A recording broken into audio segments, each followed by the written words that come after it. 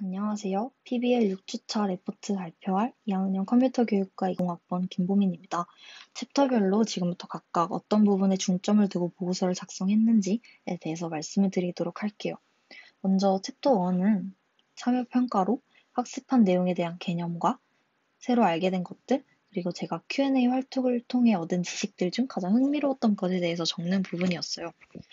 어, 첫 번째로 학습한 내용에 대한 개념을 적는 부분에서는 이렇게 번호를 달고 어떤 개념에 대해서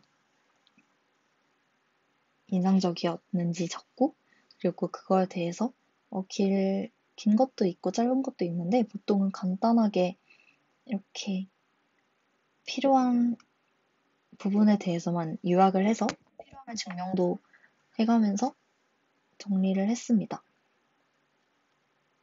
어, 개수는 딱 10개로 사실 많지는 않은데 그 대신 이 한 개념에 대해서 좀 더 정확하고 어, 이해할 수 있는데 필요한 부분을 모두 담자라는 생각으로 어, 좀 답변을 적었던 것 같아요. 그리고 두 번째는 새로 알게 된 것들인데 제가 어, Q&A 활동을 통해서 진행했, 어, 진행했던 활동을 통해서 알았던 부분들 중에서 어, 답변을 제가 직접 달지 않더라도 아, 이 부분은 되게 새롭고 나도 몰랐던 부분이다 라는 게 느껴졌다면 이 부분에 적었던 것 같아요. 어, 아, 이 부분은 제가 되게 저도 좀 궁금했는데 사실 알아보기가 약간 귀찮아서 그냥 넘어갔던 부분인데 어떤 분이 질문을 해주셨더라고요. 그래서 이 부분에 대해서 답변을 찾아보면서 저도 아, 이런 방법도 있구나라고 생각을 해서 되게 의미 있었던 답변 중에 하나였어요. 네, 이렇게 코드를 적으면 아, 이렇게 배열의 인덱스를 이렇게 뽑아내는 형식으로 출력을 하면 어, 고유 벡터를 하나씩 뽑아낼 수 있다고 합니다. 네, 참고로 알아두시면 좋을 것 같고요. 그리고 마지막으로 제가 Q&A 활동을 통해 얻은 것 중 가장 흥미로웠던 것에 대해서 적는 부분은 어, 인공지능 모델의 비선형성이 어디에 적용되었는가에 대한 질문이었는데 어, 제가 질문에 대해서 정확히 이해한, 이해했는지에 대해서 약간 확인이 필요한 답변이었기도 하지만 사실 제가 먼저 선행학습이라고 해야 되나요? 인공지능에 대해서 그래도 어느 정도 그 학습을 먼저 진행해온 사람으로서 이러한 부분에 대해서는 제가 자신 있게 답변을 해야 된다는 그런 사명감이 있었던 것 같아요. 그래서 뭔가 수업 외적인 부분에서 인공지능의 적용 측면에서의 질문에 대해서는 좀 열정적으로 답변을 해주려고 노력했던 것 같습니다. 그래서 그게 그 답변들 중 하나였고요. 그래서 좀 기억에 남는 답변이라서 적어보았습니다. 챕터 2에서는 제가 Q&A에 참여 횟수나 학습 과정에서 느낀 점에 대해서 적는 부분이었어요. 제가 참여 횟수는 사실 어, 간당간당하게 어, 최저선을 넘어, 넘지 않았나라고 생각을 하실 수도 있는데 사실 4주차랑 6주차에 대해서는 제가 어, PBL 보고서를 작성을 해야 하기 때문에 좀 참여율이 저조했던 건 맞아요. 하지만 어, 1, 2, 3주차에 대해서 어, 1, 1 3주차에 비해서 5주차도 그러니까 약간 참여율이 저조하잖아요. 근데 4주차가 끝나고 교수님께서 어, 웹엑스에서 말씀하셨는데 그 학우분들 중에 어, 어느 정도 답변의 양이 완성이 되었고, 음, 어, 다른 학우분들에 비해서 좀 열정적인 활동을 진행했었던 분들은 어, 질문을 한, 물론 하는 것도 좋지만 도움을 주는 방향으로 진행하셨으면 좋겠다고 말씀을 하셨던 것 같아서 제가 어, 막 궁금한 점에 대해서는 물론 질문을 하지만 어, 먼저 답변, 섣불리 답변을 제가 횟수를 채우기 위해서 먼저 약간 차지한다는 느낌이 들어서 이렇게 좀 횟수를 채우지 못한 분들에게 약간 순서를 넘겨주는 방식으로 진행을 하고 저는 한 발 물러서서 글을 좀 더 열심히 읽고 읽고 그 학우분들이 어떤 부분에 대해서 궁금해하고 또 어떻게 답변을 달았는지에 대해서 좀 구경하는 형식으로 어, 활동을 했었던 것 같아요. 그것도 나름대로 제 저에게는 의미 있었던 부분이었고 저는 횟수가 좀 적더라도 이런 활동 방향에 대해서는 후회하지 않습니다. 그리고 이렇게 제가 이해한 개념들에 대해서 보라색으로 표시를 해봤고 제가 보라색을 좋아해가지고 간간히 보라색이 좀 보일 거예요. 그리고 여기서는 어 제가 여기 자랑스럽다고 적은 것처럼 교수님께서도 이 부분에 대해서 좀 인상적이셨는지 샘플 보고서에 이 부분을 수록해 주셨더라고요. 제가 학습을 하면서 사실 비대면이라서 이렇게 학우분들을 다양한 학과, 학번, 학년, 그리고 성별 이렇게 가지신 분들을 만나보고 또 소통할 기회가 많지 않잖아요. 근데 이 기회를 통해서 되게 여러 분들을 접해보고 글을 읽어보니까 정말 엄청 다들 대단하시고 열심히 활동해 주시더라고요. 그래서 그 부분이 되게 멋있었고 같은 학교에 내가 약간 성균관대에서 이런 분들이랑 같이 수업을 하고 있구나를 새삼 느끼게 되고 되게 자랑스러웠던 것 같습니다. 그리고 세 번째는 개인 성찰 노트랑 책 평가 및 동료 평가에 대한 내용인데요.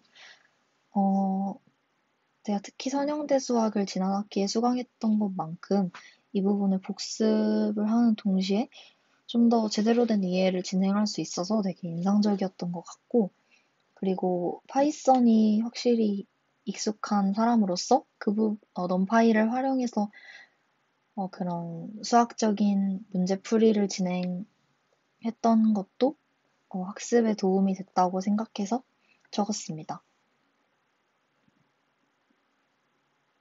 그리고 이 부분은 넘어가고 자체 평가보다 동료 평가에 대해서 말씀을 드리자면 제가 맨 뒷부분 챕터 4에 대해서 설명을 드리면서도 말씀드릴 건데 어, 장지원 학우님께서 제가 가장 궁금했던 질문이고 그리고 제가 알고 있는 내용임에도 약간 좀 구체적으로는 잘 알지 못하는 부분에 대해서 엄청 열정적으로 참고 자료를 어, 보내주시면서까지 설명을 해주셔가지고 되게 인상적인 학우분이셨는데 아, 그리고 제가 맨 처음에 어떤 강의 선대 학습을 저번 학기 했던 거 요약본을 올려 드렸는데 거기에 대해서도 감사 인사를 댓글 달아주셔가지고 그분도 되게, 그 부분도 되게 기억에 남았었거든요.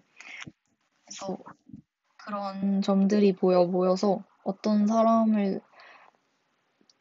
동료평가란에 적을까 하고 생각하자마자 바로 이 학우분을 떠올려서 이 챕터 4의 동료, 아, 챕터 3의 동료평가 부분에 장지원 학우님을 적었습니다. 챕터 4는 학습 활동에 대한 기록인데 그 PBL 보고서의 기반이죠. Q&A 활동에 대해서 최대한 어, 겹치는 부분이 배제될 수 있도록 23개 정도의 글을 수록을 해보았습니다. 어, 자기소개를 제외한 글들은 모두 학습적인 내용이고요. 가장 인상 깊었던 글은 좀 이게 좀 길어 길더라고요.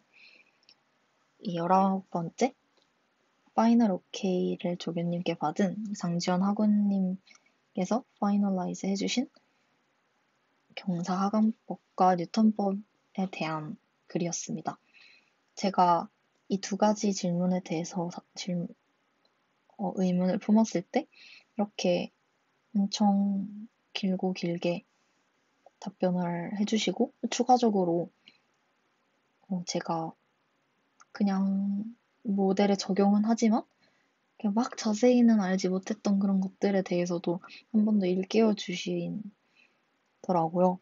그래서 되게 엄청 고마웠고 그래서 네, 이 글이 가장 저에게 인상적인 글이었던 것 같습니다.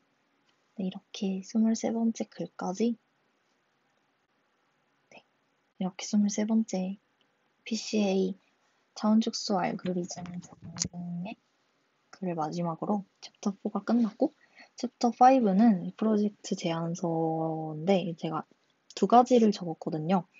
어, 주제에 대해서만 간단히 설명을 드리자면 어, PCA 분석 파트는 뭐에 대한 보고서냐면 어, 제안서냐면 음, PC 분석을 수학적으로만 우리가 학습을 했잖아요. 이거를 직접 실제 데이터에 적용을 하는 방법을 알려드리고 싶어서 음, 학우분들을 위한 보고서라고 하면 좋겠네요.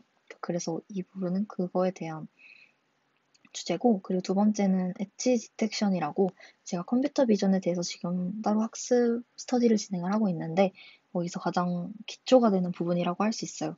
모서리 감지죠, 말 그대로. 물체가 있으면 이 물체에 이런 테두리 같은 거를 어, 필터를 통해서 이렇게 추출해낼 수가 있는데 그 필터 종류를 여러 가지로 학습을 해봐서 이 이미지에 대해서 어떻게 엣지를 정확히 detection 할 수 있는가에 대한 여러 가지 실험을 진행해보면서 최적의 필터 형태를 찾는 그런 실험을 구안을 해봤습니다. 마지막으로 챕터 6에 대해서는 어, final 은 아니죠 아직 PBL 보고서를 마치고 제가 아직 끝남에 대해서 적은 건데 4주차를 정리를 해보면 어, 제가 음, 처음에는 어, 제대로 어떻게 활동해야 될지도 잘 모르겠고 해서 약간 저조할 뻔 하다가 되게 정신 차리고 열심히 했다는 그런 담겨 있고요. 6주차는 제가 4주차 동안 열심히 활동을 진행을 해왔으니까 이제 학우분들의 입장이 돼서 좀더 어, 한발 물러나서 아까 말씀드렸던 것처럼 그런 좀 제가 진정으로 도움이 되는 방향으로 이런 Q&A 활동을 진행을 하자라는 취지의 글들을 작성을 해보았습니다. 네, 입체종 PBL은 아직 빈칸으로 남아있고요. 이 부분에 대해서는 이제 네, 좀 2주가 지난 후에 채워지게 되겠죠. 네, 이상으로 발표에 대해서 마치겠고 저는 2학년 컴퓨터 교육과 20학번 김보민이었습니다. 감사합니다.